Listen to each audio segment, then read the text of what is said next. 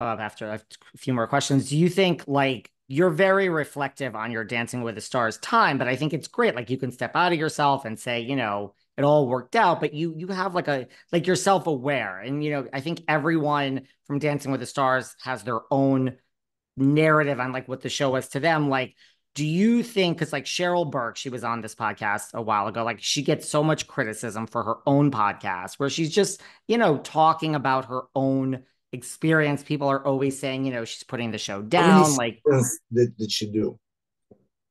How many seasons did Cheryl Burke do? I don't know off top of my head, but quite a few. Probably like 31, 30, something yeah. like that, right? Did she like leave a couple of years ago yeah. only? And uh and and you know, she's done everything ever since. She's I don't think she's ever taken a break or whatever. You think that all she has about the show is just negative stuff, you know? Uh, you think that she's all she talks about, like she get, you know what I'm saying? Like you yeah. did for so long, and the only foundation for your conversation is negativity.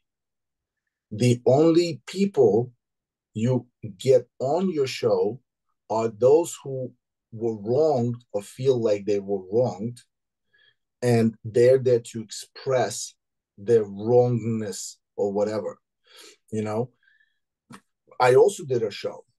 I, had I known that that was the pro the, the, the topic, not the topic, but her, her, direction, I would never do it because I don't want to be a part of that. I don't want to be a part of that. So we're reflecting, right?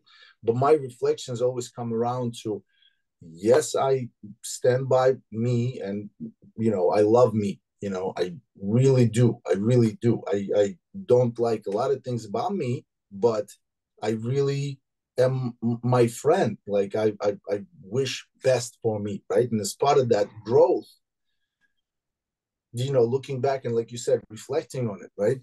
I think that Cheryl needed to sit back and reflect on her stuff, you know, instead of starting a podcast that's just so vile and so dirty and so negative and so you know today my host my my guest is i don't know Lacey Schwimmer. We haven't seen Lacey in over a decade and a half, you know, and now we're going to talk about stuff from decade and a half when Lacey was a participant, when Maks said stuff that was completely taken out of context.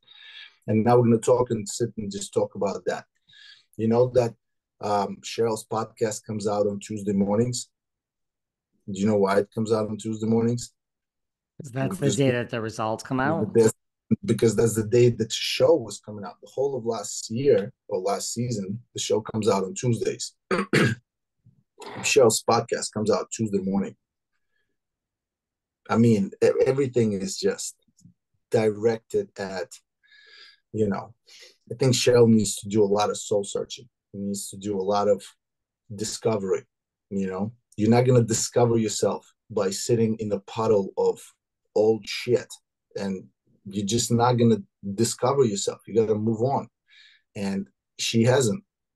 And this is the, the the, the case and point is like you're going to carry that negativity with you. You're not this isn't therapeutic. This isn't therapy. This is just just you know gossiping and talking nonsense. And someone like me will never support her podcast again you know and i'm not going to support her period. Because i feel used by her with her guests for the most part. Like I kept calling my PR, I'm like, yo, I don't understand how many podcasts will start with, you know, Maks said something about Lacey. This shit was 20 years ago. Okay, fine. Fine. Maks did say, okay, Maks, blah, blah, blah, blah. You know, somebody like Denise Richards was on the show. Maks was so this and that. I'm like, come on really like this is the f- platform you're gonna you're gonna you're gonna have to to move on. This isn't moving on. This is like i'm so negative about stuff. I'm gonna talk negative shit. And i'm gonna call it the podcast about negative stuff on dancing with the stars. Right. You think it's like clickbait and like this it's all clickbait. It's there's no substance to it. You're you're you're you're just molding old stuff. Like I don't even know what the word is, but you like just keep keep rewinding things. Like man, let's just move on, move on, find happiness in in in not being a part of it. I think that's what Dancing with the Stars is difficult for a lot of pros is because they're like, you know, it's just it's hard to move on. What do you do next? What do you do next? You know, for me, I don't know. I didn't really have to figure this out. Like I was always about what's next. You know, even when I was on the show, it was about what's next. When Cheryl was on the show, she was not about what's next. She was about being dancing with the stars professional for the rest of her life. And the second she did not, or she was no longer, she wanted a different position in the show. And when she didn't get it, she got super upset and came out with a podcast where she's going to be trashing the show that made her who she is. And so that to me makes no sense. If anybody has a leg to stand on to talk shit, it's me, probably, you know? And I'm not taking that baton like, I won that trophy. No, but I was the one who was talking, you know, when I was on. You were not so why would you start talking when you're not on? You know what I'm saying? Like at least I'm consistent. None of the people that were employed were were ever expressing their dislike. But I did, you know, because I represented me in my purest form. I wasn't putting on a show, trying to get a rise out of someone, being negative for the sake of being negative. None of that. I was just being pure to the bone. All I did was react, respond, do, not do, say how it is, see what, you know, explain what I saw, what I'm what, what I'm seeing, you know what I mean? So like I was never that person.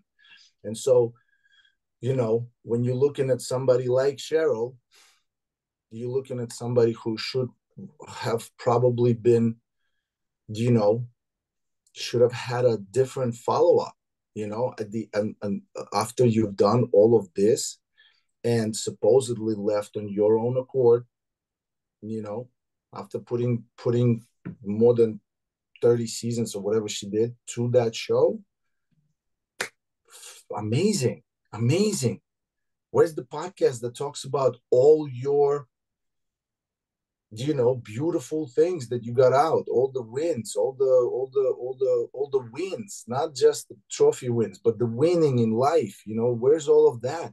You know how how how it made you better stronger smarter more intelligent. You've gone through things like man there's so much to talk about. All they talk about is some bullshit from the past. Come on Right. Like you think you could have almost worked with ABC and had whoever was voted off every week. Like it could have been a celebration of, you know, the person, you know, it, it could have gone a lot of different ways. Or not, David, or not. Maybe nobody wanted you to to